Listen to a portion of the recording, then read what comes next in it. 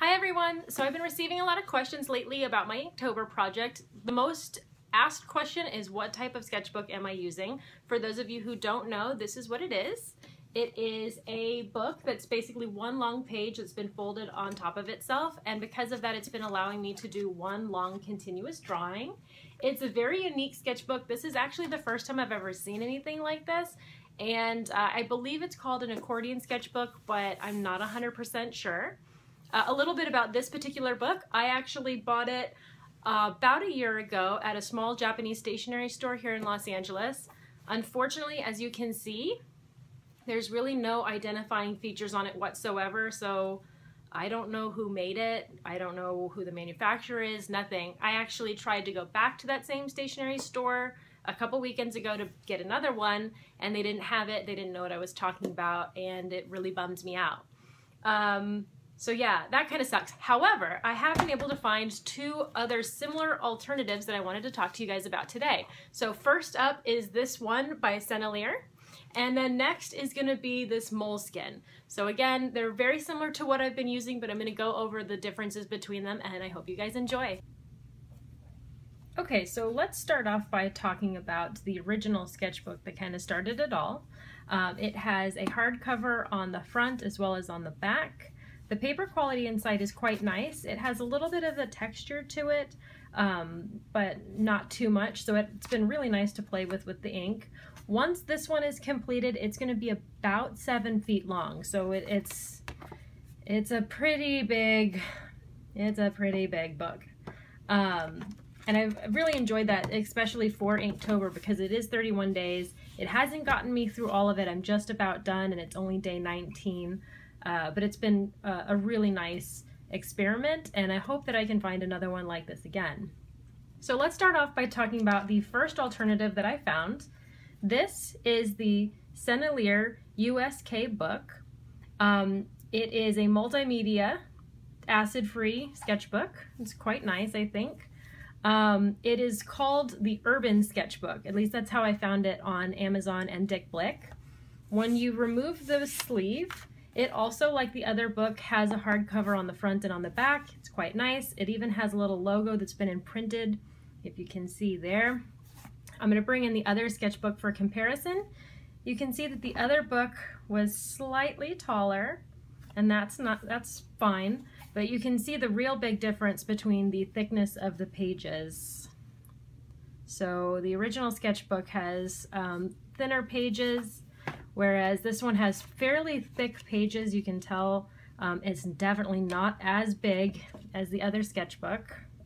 It's probably, oh wow, I'd say maybe a fifth of the size as far as how much paper is in here. Yeah.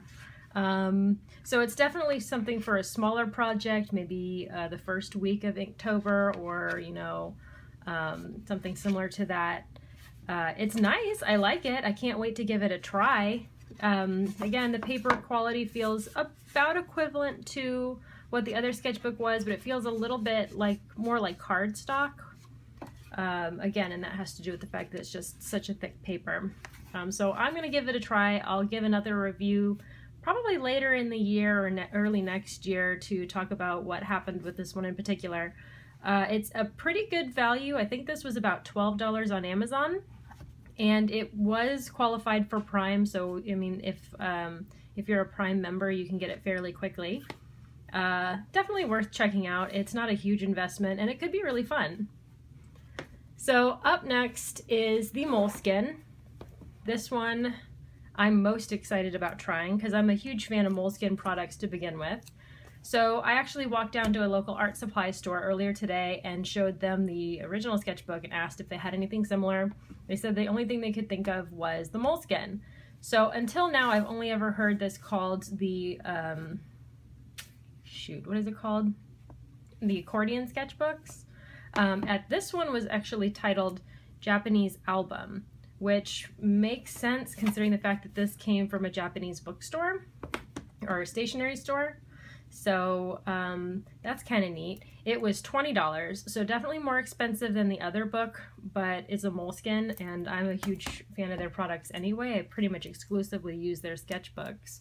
So I'm going to quickly open this up so we can take a look and see how different it is.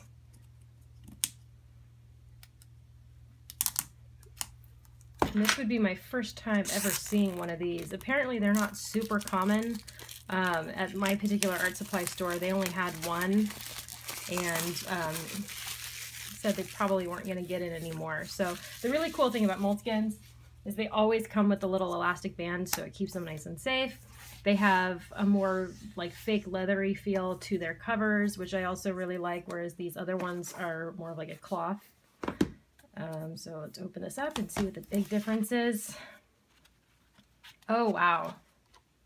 Again, this is one continuous page, and it is enormous. It is, is wow. Yeah, that's actually going to be much longer than the original one. So that's cool. That's really exciting.